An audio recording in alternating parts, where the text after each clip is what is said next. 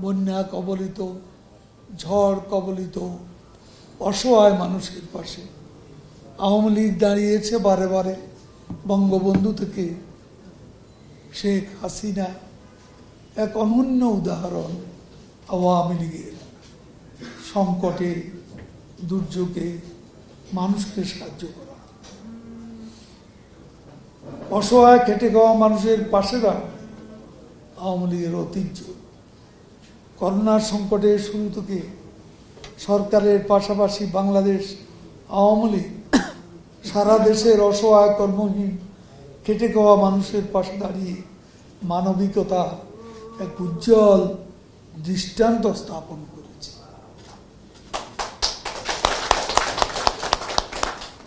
আমরা সংকটে, দুর্যোগে কখনো আমাদের হতাশ হতে হয় না। আমাদের দেশের প্রতিটি সংকটে করোনা সংকট থেকে শুরু করে প্রত্যেকটি সংকটে বঙ্গবন্ধুর কন্যা শেখ হাসিনা যে বলিষ্ঠ নেতৃত্ব, তার বিচক্ষণ নেতৃত্ব।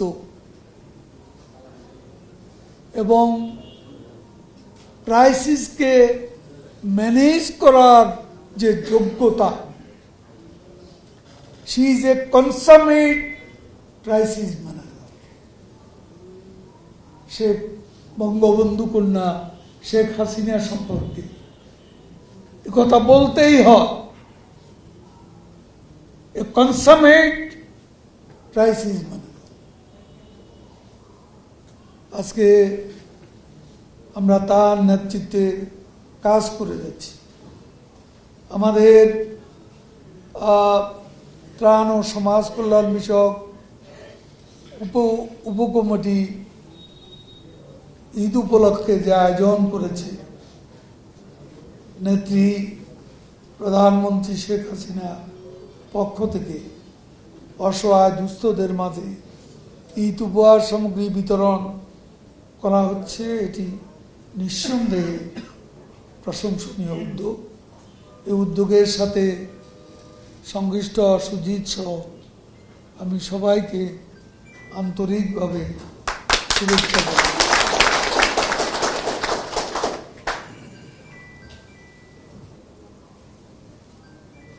জানাই। সাংবাদিকরা কয়েকটা প্রশ্ন করছে। সরকার আইন শৃঙ্খলা রক্ষাকারী বাহিনীর কাছে জিম্মি, তারা তাদের উপর নির্ভর করে ক্ষমতায় টিকে আছে।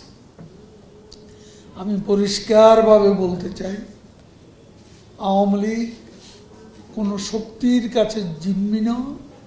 আওয়ামী লীগের শক্তির উৎস এই দেশের জনগণ।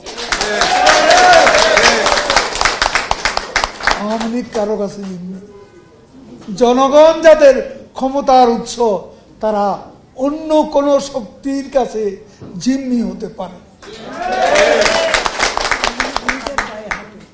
নিজের পায়ে আওয়ামী লীগ হাঁটে। এটা বুঝতে হবে। তারপর আবার আরেকটা প্রশ্ন। সরকার আওয়ামী লীগ একটা ব্যাংক্রাফ্ট হয়ে গেছে ভারতকে অনুরোধ দেয় দেখুন, বিএনপির কথা ভুলে যাওয়া উচিত নয়। বিদেশে তাদের প্রভু অনেক। প্রভুদের কাছে নালিশ জানা আমাদের যারা আছে, তারা বন্ধু। প্রভু নয়। বিদেশে আমাদের কোনো প্রভু নেই। বন্ধু এখন আমি তিস্তা নদীর পানি বন্টনের অমীমাংসিত বিষয়। এই বিষয়ে ভারতের আমি সাহায্য চাইতে পারি। কারণ এটা আমার জাতীয় স্বার্থ। সঙ্গে। তার সঙ্গে বসতে হবে না।